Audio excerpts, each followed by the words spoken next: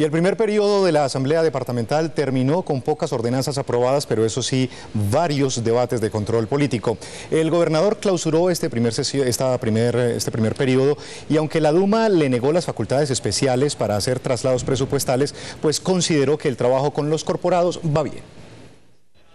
Para el actual presidente, el primer periodo terminó con pocas iniciativas aprobadas, pero con debates de control político durante dos meses de sesiones. Que el tema de la mesa directiva fue un tema meramente mecánico y administrativo al interior de la corporación, que lo que hizo fue que se trascendió mucho a los medios y opacó verdaderamente las realizaciones. Estos 26 diputados venimos trabajando con mucha responsabilidad, con mucha coherencia, mostrando realizaciones.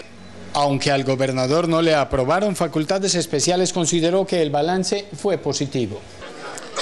Pues es una discrepancia, eh, pero si ellos consideraron que no, no tenían que darnos a nosotros las facultades, no hay problema.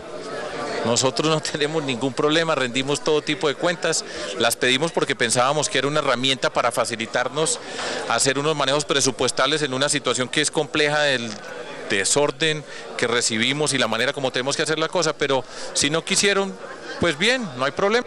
Lo más destacado en aprobaciones fue constituir la Feria de la Transparencia, un proyecto que replica la actividad realizada en la alcaldía.